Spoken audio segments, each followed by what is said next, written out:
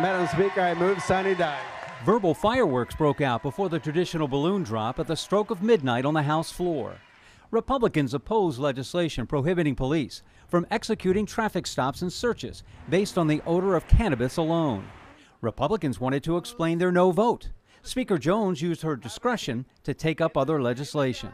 You cannot just roll call the minority party. No, we got six It does not minutes. work that way. Speaker Please Pro- take a seat. Madam Speaker, you need to take a seat. It doesn't work that way. The rules do not allow you to operate that way. You cannot just roll call the minority party. Madam Speaker, the rules say that someone may explain their vote.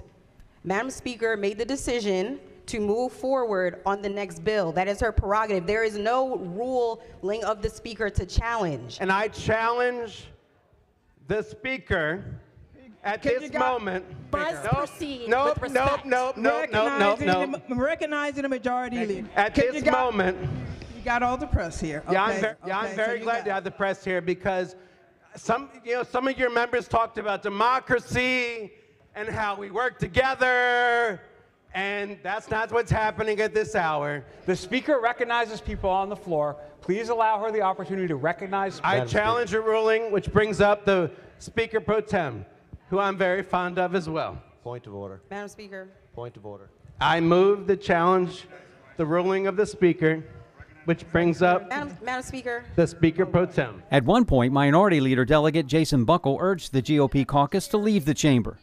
They briefly exited toward the House lounge, then returned. It is time to move on with the people's business. We have two minutes left if you'd all like to participate in the people's business. Otherwise, we can just sit here and fight with each other. Delegate Nic Kipke issued a statement saying, I listened to the debate and regret my tone. I was tired and upset that Republicans were not being allowed to debate important bills that many of us believe are horrible for our state.